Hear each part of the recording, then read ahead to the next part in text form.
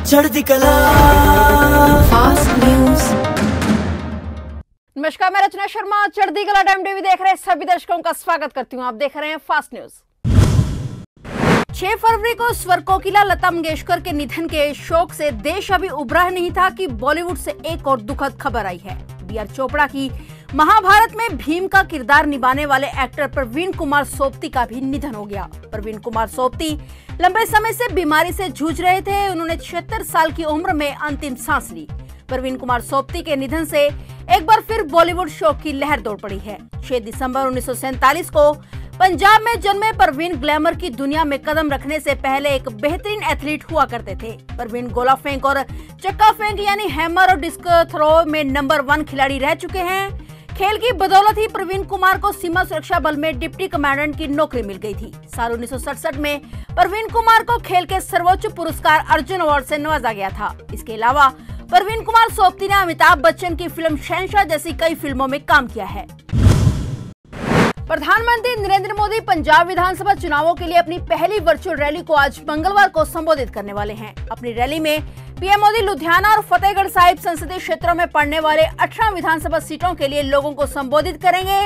Bharatiya Janata party ने एक बयान में कहा है कि इसके लिए सभी अठारह विधानसभा क्षेत्रों में एलईडी स्क्रीन लगाई गई है। करीब पचास हज़ार लोगों के मोदी का भाषण देखने की उम्मीद है। बयान में कहा गया है कि आने वाले दिनों में पार्टी ने प्रधानमंत्री की कई रैलियाँ आयोजित करने का कार्यक्रम बनाया है। दो दिन बाद गुरुवार को उत्तर प्रदेश विधानसभा चुनाव 2022 के पहले चरण के लिए वोट डाले जाएँगे और इससे पहले यूपी में सत्तारूढ़ भाजपा की ओर से आज मंगलवार को लोक कल्याण संकल्प पत्र नाम से चुनावी घोषणा पत्र जारी किया गया है। बीजेपी के लोक कल्याण संकल्प पत्र में युवाओं के लिए रोज़गार सृजन से लेकर राष्ट्रवाद, उत्तर प्रदेश के विकास की रूपरेखा के साथ ही छोटे किसानों को मिलने वाली सम्मान राशि को दोगुना करने जैसी कई बड़ी योजनाएँ हैं। उत्तर प्रदेश विधानसभा चुनाव 2022 के पहले चरण की वोटिंग गुरुवार 10 फरवरी को होने वाली है। इसको लेकर प्रदेश में चुनावी और राजनीतिक सरगर्मियाँ चरम पर हैं। साथ ही नेताओं के बीच जुबानी हमले का सिलसिला भी नई ऊंचाई पर पहुँच चुका है। उत्तर प्रदेश के मुख्यमंत्री योगी आदित्यनाथ और दिल्ली के मुख्यमंत्री अरविंद केजरीवाल के बीच जुबानी झगड़े की शुरुआत सुन केजरीवाल और सुन योगी से हुई, जो मानवता द्रोही और क्रूर शासक जैसे शब्दों तक पहुँच गया। देश के दो मुख्यमंत्रियों के बीच ट्विटर पर तलख अंदाज में आरोप प्रत्यारोप का आदान प्रदान हुआ। मुख्यमंत्री योगी ने मुख्यमंत्री अरविंद केजरीवाल पर हमला बोलते हुए उनकी तुलना मानवता द्रोही से कर दी और दूसरी तरफ़ सीएम केजरीवाल ने योगी आदित्यनाथ की तुलना निर्दयी और क्रूर शासक से कर डाली। बता दें कि विधानसभा चुनाव के करीब आते ही प्रतिद्वंदी नेताओं के बीच एक दूसरे पर आरोप लगाने का सिलसिला काफ़ी बढ़ गया है और इसी क्रम में सीएम योगी और अरविंद केजरीवाल का यह मामला सामने आया है। उत्तर प्रदेश में विधानसभा चुनाव के पहले चरण के लिए प्रचार अभियान आज शाम पाँच बजे थम जाएगा और इस चरण में पश्चिमी यूपी के 11 जिलों गौतम बुद्ध नगर, गाजियाबाद, मेरठ, हापुड़, बागपत, बुलंदशहर, मुजफ्फरनगर, शामली, अलीगढ़, मथुरा और आगरा की अट्ठावन सीटों पर 10 फरवरी को वोट डाले जाएँगे। पहले चरण में दो दशमलव सत्ताईस करोड़ वोटर अपने मतदान का प्रयोग करेंगे। चुनाव प्रचार के आखिरी दिन मुख्यमंत्री योगी आदित्यनाथ आज अमरोहा आएँगे। यहाँ वह दो बजकर तीस मिनट आरोप चुनावी जनसभा को संबोधित करेंगे। यह जनसभा अमरोहा की नोगावा सादात विधानसभा क्षेत्र के पपसरा के एएस बैंकट हॉल में होगी। त्रिपुरा में अगले साल होने वाले विधानसभा चुनाव से पहले जोड़ तोड़ की राजनीति शुरू हो गई है। बीजेपी के दो विधायक सुदीप रॉय बर्मन और आशीष साहा मंगलवार को कांग्रेस में शामिल हो गए हैं। बता दें कि इन दोनों ने सोमवार को अपने पद से इस्तीफा दे दिया था। रॉय बर्मन और साहा ने सोमवार सुबह विधानसभा अध्यक्ष रतन चक्रवर्ती से मुलाकात कर उन्हें अपने इस्तीफे सौंपे थे। आज सुबह ही दोनों ने कांग्रेस के पूर्व अध्यक्ष राहुल गांधी से मुलाकात की और कांग्रेस का हाथ थामने के बाद सुदीप रॉय वर्मा ने कहा कि कई और विधायक पार्टी छोड़ने के लिए तैयार हैं, लेकिन शायद वे तकनीकी कारणों से कुछ महीने और इंतज़ार करना चाहते हैं। उन्होंने कहा कि पार्टी से सभी का मोह भंग हो गया है।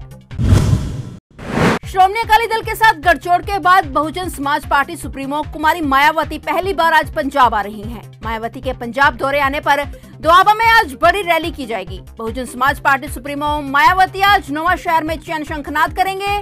कोशिश यही है कि चयन दंगल में श्रोमणी अकाली दल गठजोड़ को मजबूती मिले और वोटरों को रिझाया जा सके। बता दें कि 2017 में विधानसभा मतदान के बाद 2019 की लोकसभा मतदान में दुआबा क्षेत्र बहुजन समाज पार्टी की बढ़त का गढ़ माना जाता है। और यहाँ बसपा को तीन दशमलव उनचास प्रतिशत वोट मिले थे। बसपा के पंजाब प्रधान जसबीर सिंह गढ़ी की माने तो नवा शहर दुआबा क्षेत्र का केंद्रीय हिस्सा है। बेशक कुमारी मायावती की रैली पूरे राज्यों में श्रोमणी अकाली दल बसपा को मजबूती देगी, परंतु सबसे ज़्यादा बल दुआबा में किस्मत आजमा रहे बहुजन समाज पार्टी के उम्मीदवार को मिलेगा। आज दोपहर दो बजे नवा शहर की दाना मंडी में अजीत कुमारी मायावती की रैली में पूर्व मुख्यमंत्री और श्रोमणी अकाली दल संरक्षक प्रकाश सिंह बादल के अलावा श्रोमणी अकाली दल बसपा गठजोड़ का मुख्यमंत्री चेहरा सुखबीर सिंह बादल, पूर्व केंद्रीय मंत्री हरसिमरत कौर बादल, बहुजन समाज पार्टी के राष्ट्रीय जनरल सचिव, बहुजन समाज पार्टी के पंजाब प्रधान जसबीर सिंह गढ़ी सहित कई बड़े नेता मौजूद रहेंगे। देश में कोरोना पर लगाम लगती दिखाई दे रही है। स्वास्थ्य मंत्रालय की ओर से जारी आंकड़ों के अनुसार 24 घंटे में कोरोना के सड़सठ नए मामले सामने आए हैं। इस अवधि में एक लाख अस्सी हज़ार चार सौ छप्पन रिकवरी हुई और एक हज़ार एक सौ अठासी लोगों की कोरोना के कारण मौत हो गई। कोरोना के नए केसों की बात करें तो आज का नंबर कल के मुकाबले उन्नीस दशमलव चार फ़ीसदी कम है। भारत में कोरोना के कुल मामले चार करोड़ तेईस लाख उनतालीस हज़ार छह सौ ग्यारह, सक्रिय मामले नौ लाख चौरानवे हज़ार आठ सौ इक्यानवे कुल रिकवरी चार करोड़ आठ लाख चालीस हज़ार छह सौ अठावन जबकि कुल मौतों का आंकड़ा पाँच लाख चार हज़ार बासठ हो गया है। पिछले दो दिनों से उत्तर पश्चिम, मध्य और पूर्वी भारत के तापमान में दो से तीन डिग्री की कमी आई है। हालाँकि दिन में धूप खिली हुई रहती है, लेकिन अब तक लोगों को ठंड से राहत नहीं मिल रही है। मौसम विभाग की माने तो 8 फरवरी की रात से पश्चिमी विक्षोभ का प्रभाव असर दिखने लगेगा, जिसके कारण 10 फरवरी तक ही पश्चिमी हिमालय क्षेत्र और 8 फरवरी से 10 फरवरी की सुबह तक उत्तर पश्चिम के मैदानी इलाकों में बारिश होगी। उधर पूर्वोत्तर भारत में 9 फरवरी से 10 फरवरी तक बारिश की संभावना जताई जा रही है। भारतीय मौसम विभाग के मुताबिक अगले दो दिनों तक ठंड से भी राहत मिलने की कोई उम्मीद नहीं है। मौसम विभाग ने चेतावनी दी है कि अगले 24 घंटे के दौरान जम्मू कश्मीर, लद्दाख, गिलगित बालिस्तान और मुजफ्फराबाद में छिटपुट, हल्की वर्षा और बर्फबारी की संभावना है। जबकि अगले दो दिनों तक हिमाचल और उत्तराखंड के कई इलाकों में बारिश और बर्फबारी की आशंका है। वहीं 9 फरवरी को पंजाब, हरियाणा, चंडीगढ़, दिल्ली, पश्चिमी उत्तर प्रदेश में गरज और बिजली गिरने के साथ व्यापक वर्षा और पूर्वी उत्तर प्रदेश और उत्तरी राजस्थान में वर्षा होने की संभावना है। फ़िलहाल फास्ट न्यूज़ में इतना ही। तब तक के लिए देखते रहिए चढ़ती कला टाइम टीवी और मुझे दीजिए इजाज़त। धन्यवाद। चढ़ती कला। Fast news